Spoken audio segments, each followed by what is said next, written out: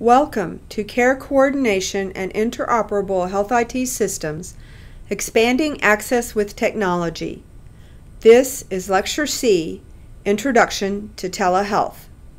The component Care Coordination and Interoperable Health IT Systems is an overview of how interoperable health IT systems are organized to support care coordination services. This unit, Expanding Access with Technology, will cover the topics of mHealth and telehealth in regards to their use in the coordination of care.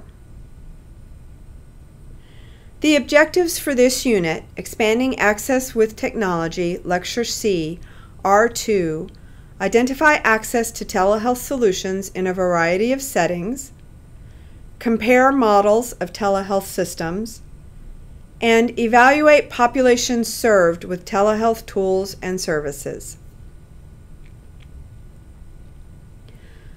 The concept of telehealth has been in existence in the United States for greater than 40 years, and by many accounts, as a way for physicians to reach patients at a distance. However, it did not come into greater acceptance until more recently with the development of enhanced digital communication methods.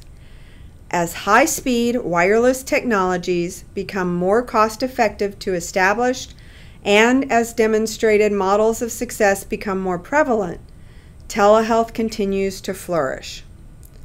One contemporary definition of telehealth from the National Telehealth Policy Resource Center is the use of electronic information and communication technologies to deliver healthcare to patients at a distance, which shall include the assessment, diagnosis, consultation, treatment, education, care management, and or self-management of a patient. Telehealth employs a combination of electronic methods to communicate between the clinician and the patient, with the goal of improving the patient's health. The methods are always two way and are established from a distance. The physician and patient are not in the same location. Telehealth may be classified more specifically by its mode of transmission and then grouped into three categories store and forward, remote patient monitoring, and synchronous telemedicine. We will now give examples for each one. Store and forward telehealth refers to the asynchronous storage of patient information that is later forwarded or transmitted for a clinician's assessment. An example of store and forward telehealth is the current practice in many radiology practices, especially where specialists are few in number. A patient's CT scan may be transmitted to a radiologist serving several regions, who then provides a clinical assessment and forwards the clinical report back to the patient's primary care provider. Remote patient monitoring, which is sometimes referred to as home telehealth, is a method of ambulatory care and is often used for patients with chronic conditions such as diabetes or high blood pressure. In the case of a patient with diabetes, blood glucose readings may be electronically transferred from their home monitoring glucometer to their primary care physician's office for evaluation. We will address the final category of telehealth, which is synchronous telemedicine, on the next slide. Although you may hear telehealth and telemedicine being used interchangeably, telemedicine is a subset of telehealth. Telehealth is the broader category. Synchronous telemedicine refers to the real time communication which occurs between a clinician and a patient, typically through a video conferencing system. Special care must be used to ensure the patient's data confidentiality is maintained and that all HIPAA privacy standards are met. First, let us define telemedicine. You can pause the slides if you need time to read the definition. Telemedicine definitions range from the technical to the strategic.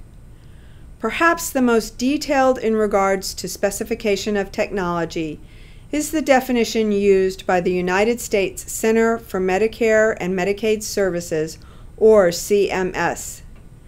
This definition states that at a minimum, telemedicine must function to provide two way, real time communication between the patient and provider. Television projects became the mainstay of telemedicine through the mid 20th century. An additional notable project used black and white closed circuit TV to link the medical clinic at Boston's Logan International Airport to the Massachusetts General Hospital just across the bay. Concerns over Logan Airport's limited road and train access led to the project, and a paper published after doctors had seen 1,000 patients over the link was the first positive evaluation of the diagnostic equivalency of a telemedicine link versus in person care.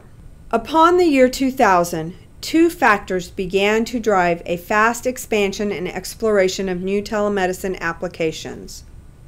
The first of these was the development of low cost solid state devices with high performance levels for both black and white and color imaging.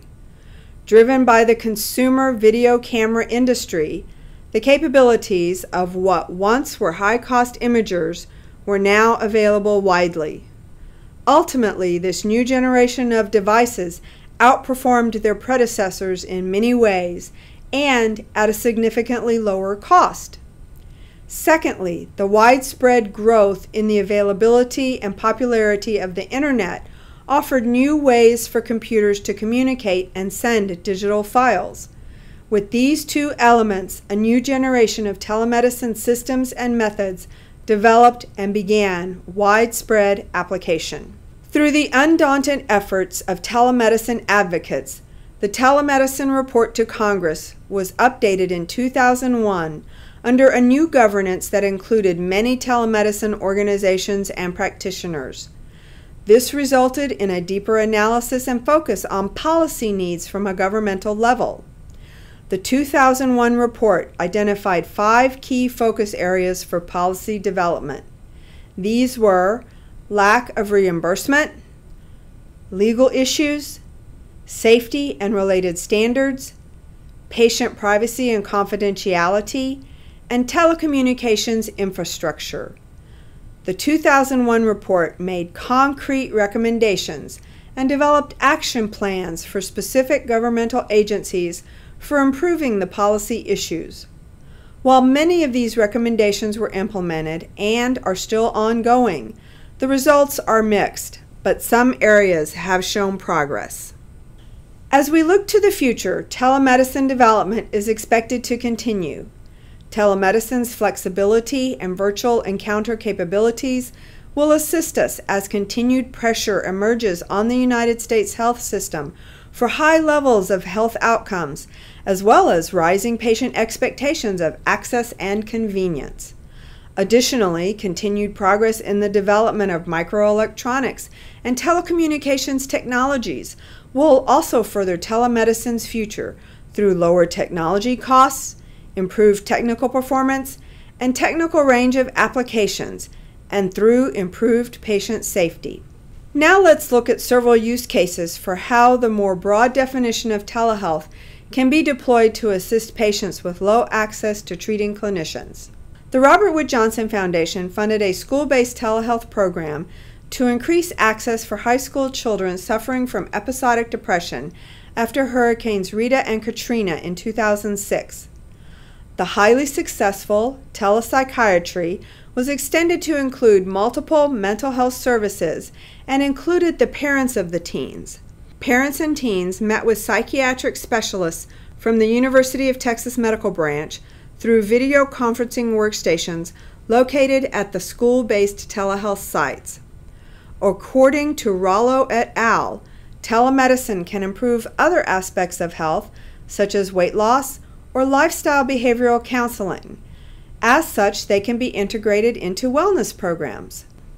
One study by Rollo found video consultations for virtual nutrition education and exercise counseling were a suitable component for a weight loss program when face to face meetings were not an option. These programs offer low cost alternatives using a mix of technologies for long term improvements in patients' health. Now let's turn to remote monitoring which is a more specific type of telehealth, where patients use home devices that report health statistics to their physician's offices, or in some cases, to the physician's mobile device. Cardiovascular disease is the number one killer in both men and women in the United States and is the subject of much of healthcare spending and prevention efforts. A study was done to determine if implantable devices with remote monitoring used to monitor the progression of heart disease could reduce the time from a clinical event, defined as progression of the disease, to a clinical decision or a response from the physician. This group of patients was compared with a control group without the implanted device with remote monitoring. The results showed significant improvements in the response time in the remote monitoring group, and they also experienced a reduction in the length of their hospital stay. This is a positive outcome for the patient, which also significantly reduces the cost of hospital care. This concludes Lecture C, Introduction to Telehealth of Unit 9, Expanding Access with Technology. In summary, the concept of telehealth has been in existence for decades, but as technology has become faster and more affordable, it has come into greater acceptance. Telehealth encompasses more than telephone, text, or email only communication and is intended to support or replace the typical physician patient encounter. While telehealth is often used mistakenly in place of telemedicine, telehealth is a broader term which encompasses clinical encounters as well as health education meant to support patient wellness goals. Both telehealth and the subset of telemedicine have the goal to improve patient care. This concludes the unit, Expanding Access with Technology. In Unit A, we discussed how patient and provider communication may be enhanced with mHealth tools. Again, the use of mHealth applications spans the continuum from wellness to illness, but may also be useful in the support of care coordination activities. In Unit B, we learned how data from mobile health tools, which are collected during a clinical visit or outside the clinical setting, can be used to support care coordination activities. Finding ways to integrate mHealth data into clinical workflows is a challenge, and future work is needed in this emerging area. In our final Unit C, we covered the distinction between telehealth and telemedicine. Telemedicine encompasses more than telephone, text, or email only communication and is intended to support or replace the typical physician patient encounter, while telehealth is a broader term which encompasses clinical encounters as well as health education meant to support patient wellness goals.